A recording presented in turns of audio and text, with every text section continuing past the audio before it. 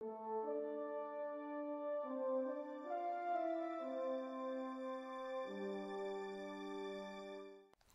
imię Ojca i Syna i Ducha Świętego. Amen. Podziękujmy Bogu za dar Jego słowa. Podziękujmy za Jego pomoc, którą otrzymujemy w darze Ducha Świętego, w pomocy w słuchaniu Jego słowa, w modlitwie, w odkrywaniu słowa. Podziękujmy za to, że Bóg odkrywa przed nami swoje tajemnice. Ojcze nasz, któryś jest w niebie, święć się imię Twoje, przyjdź królestwo Twoje, bądź wola Twoja, jako w niebie, tak i na ziemi. Chleba naszego powszedniego daj nam dzisiaj i odpuść nam nasze winy, jako i my odpuszczamy naszym winowajcom i nie wódź nas na pokuszenie, ale nas zbaw ode złego. Amen. Błogosławiony Franciszku Jordanie, módl się za nami. Kościół czyta w liturgii e, fragment Ewangelii według świętego Mateusza z rozdziału 13, wiersze od 24 do 30. To rozdział, w którym święty Mateusz zgromadził przypowieści Jezusa. Dzisiaj jedną z nich usłyszymy. Jezus opowiedział tłumom tę przypowieść. Królestwo niebieskie podobne jest do człowieka, który posiał dobre nasienie na swojej roli. Lecz gdy ludzie spali, przyszedł jego nieprzyjaciel, nasiał chwastu między pszenicę i odszedł.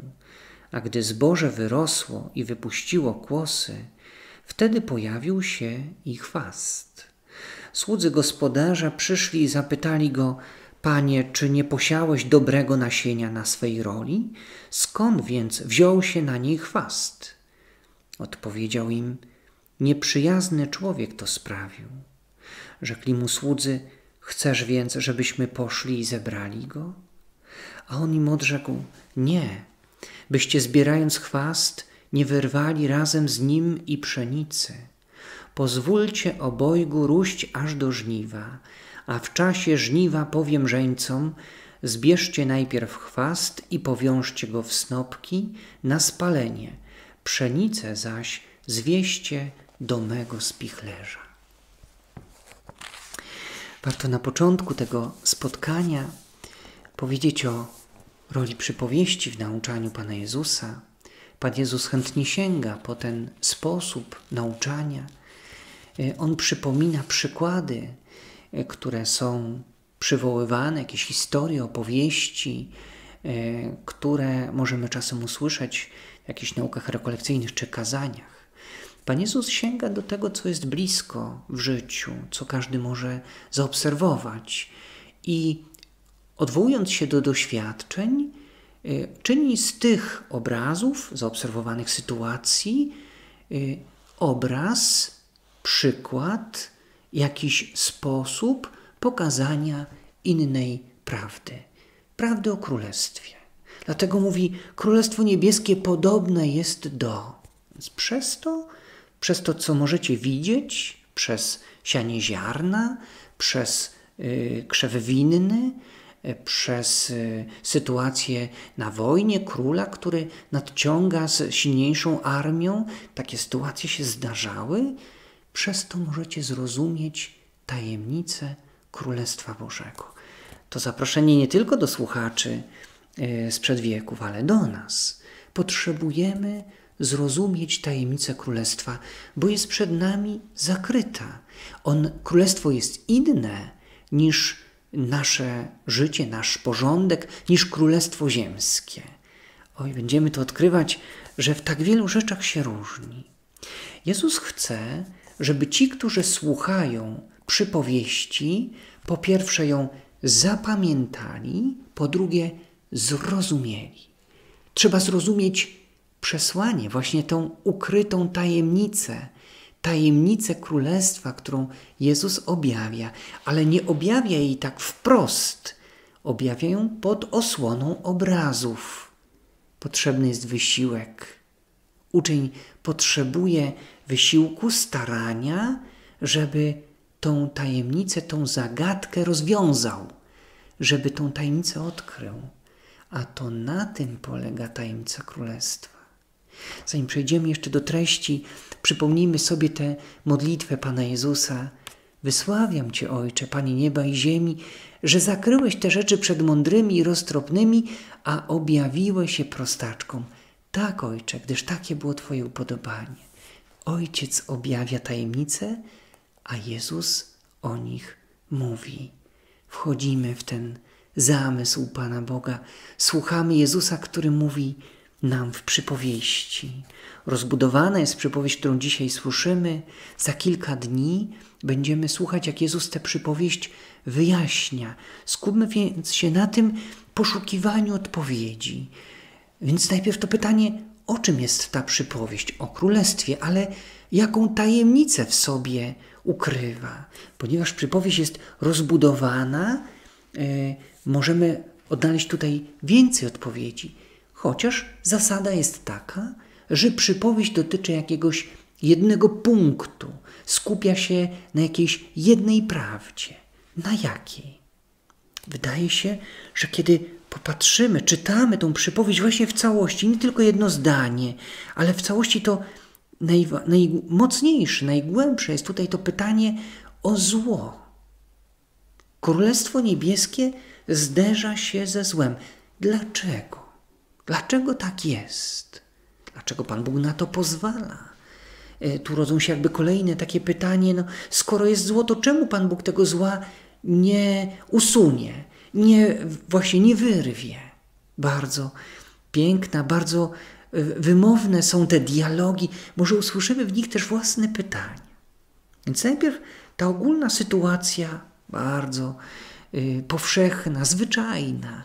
Ktoś w tym czasie, kiedy się to czyni, na wiosnę, y, zasiewa swoje pole dobrym ziarnem. Pewnie wtedy właśnie wybranym, takim, które zostało przesiane, nie było tam ziaren pustych, a więc takich, z których nic nie wyrośnie, bo nie, nie rozwinęły się w czasie swojej wegetacji.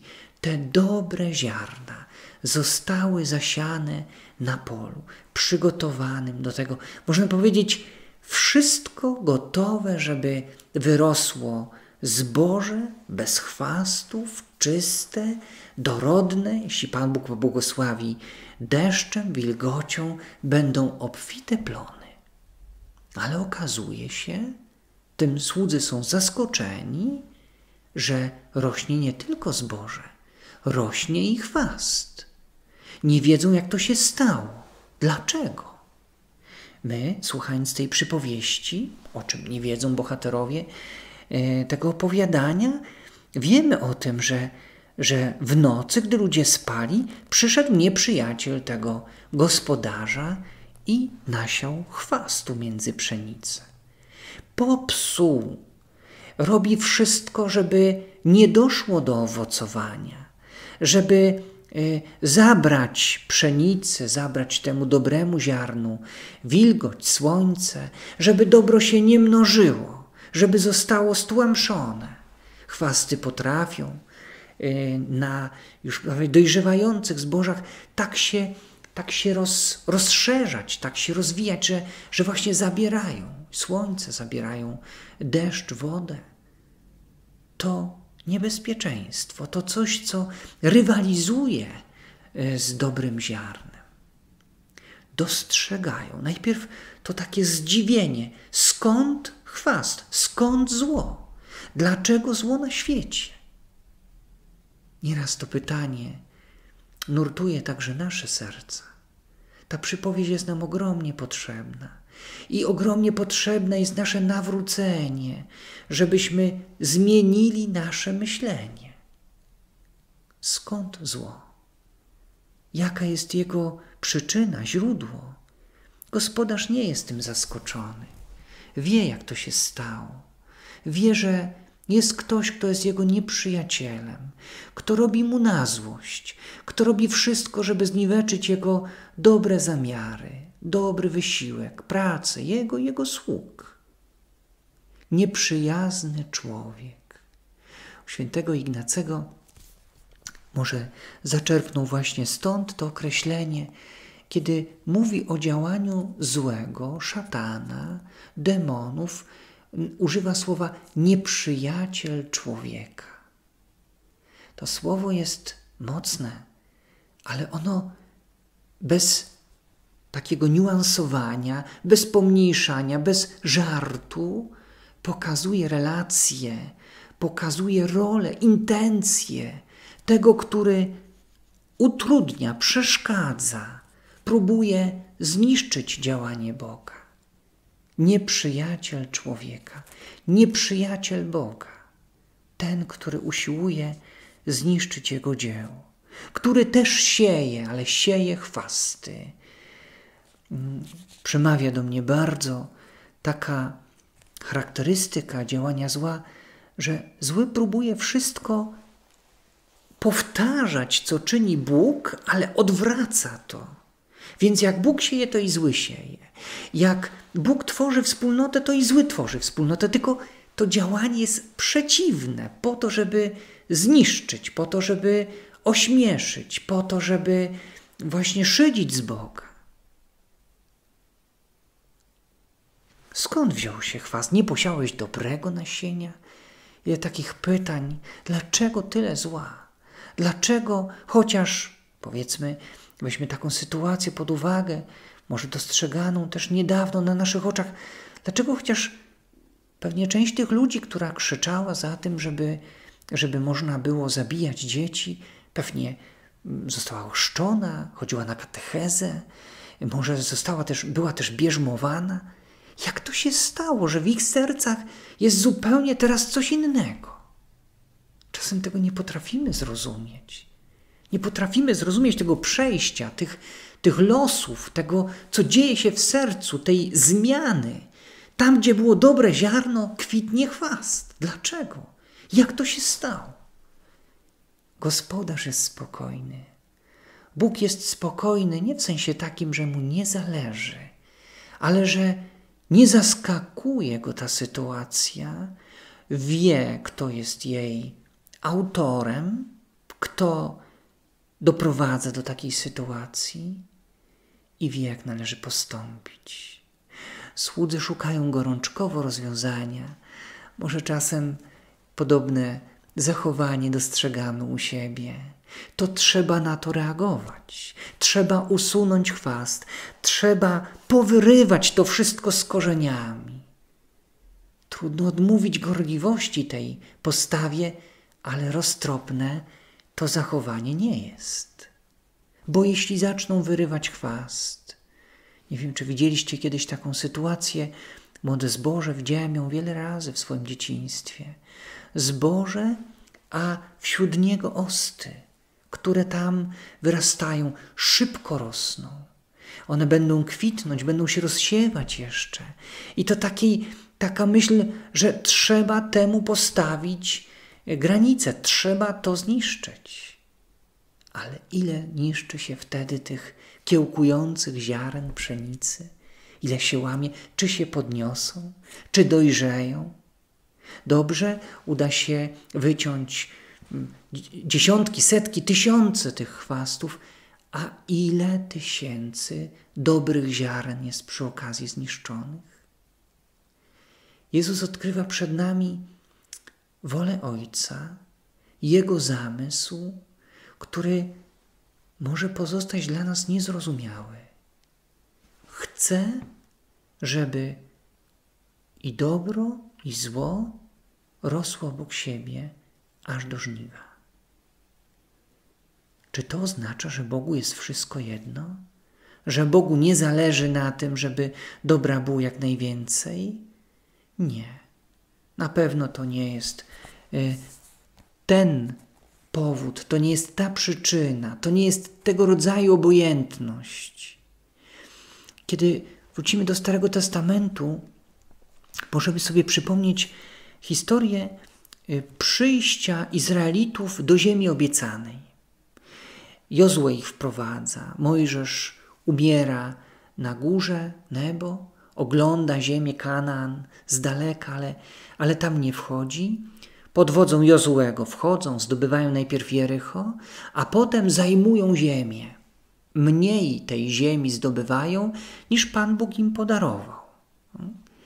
I czytamy takie zdanie: Zostały jeszcze pośród nich plemiona amoryckie, kananejskie, i Pan Bóg uczynił to specjalnie, żeby było to dla Izraelitów próbą ich przymierza z Bogiem, bo to były ludy pogańskie, czciły swoich bogów, i żeby Izraelici nauczyli się sztuki wojennej. Wrócimy do naszej przypowieści. Pozwólcie obojgu róść aż do żniwa, a wtedy powiem żeńcom zbierzcie najpierw chwast i powiążcie go w snopki na spalenie. To rośnięcie aż do żniwa jest jakby codzienną okazją do wierności, do bycia konsekwentnym podjętemu wyborowi, ale też do walki, przeciwstawiania się pokusom, do walki o to, żeby właśnie pozostać dobrym ziarnem, pszenicą, nawet jeżeli atakuje mnie e, z bliska zło. Właśnie posługując się kłamstwem chociażby, jakimś fałszywym oskarżeniem, przemocą. Pszenica pozostaje pszenicą i to jest bardzo ważne, żeby tak było. Czy to rozumiemy, że taką drogę wybrał Ojciec, żebyśmy dojrzewali nie w jakichś warunkach cieplarnianych, takich, w których wszystkie chwasty już na początku, wskutek jakiegoś środka, oprysku, czegoś jeszcze, zostały y, zupełnie usunięte. Nie ma chwastów, ale że właśnie dobro rośnie obok zła. Zło jest obok dobra, aż do żniwa. Skąd zło? To dzieło nieprzyjaciela. Jak na zło odpowiedzieć? Czy zająć się jego usuwaniem, śledzeniem, tępieniem? Odpowiedź tej przypowieści jest nie. Pielęgnuj dobro. Dbaj o dobre ziarno. Dbaj, by słowo mogło rozwijać się w tobie i by dojrzewało aż do końca. Kiedy całą uwagę skupisz na tym, owoc, plon będzie obfity i w czasie już żniwa, zbierania plonów będzie cieszył Ojca. Prośmy o cierpliwość, prośmy o zaufanie, że droga, którą nam pokazuje Jezus w swojej przypowieści, jest drogą najlepszą, dobrą, właściwą.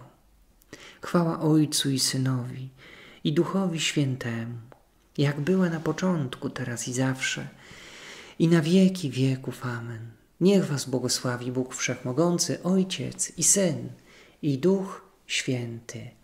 Amen.